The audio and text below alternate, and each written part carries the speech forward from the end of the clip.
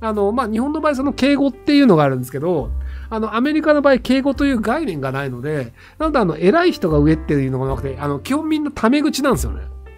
で、基本みんなタメ口なので、どんな偉い人でもタメ口で喋るっていうのがあるんですけど、で、あの、フランス語の場合は、あの、みんなめちゃくちゃ丁寧に喋るんですよね。あの、その、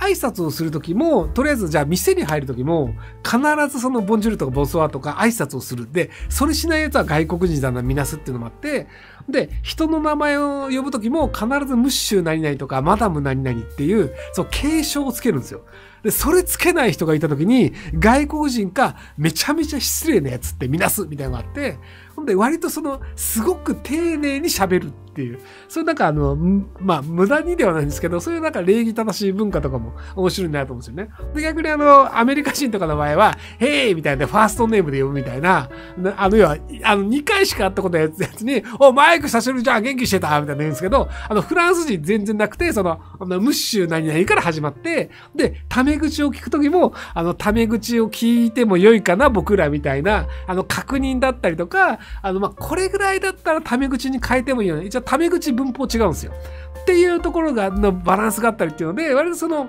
言語とか文化とかって、やっぱ国によっていろいろ違うので、なんかそういうので、あの、自分が好きな国を見つけてみるといいんじゃないかなと思います。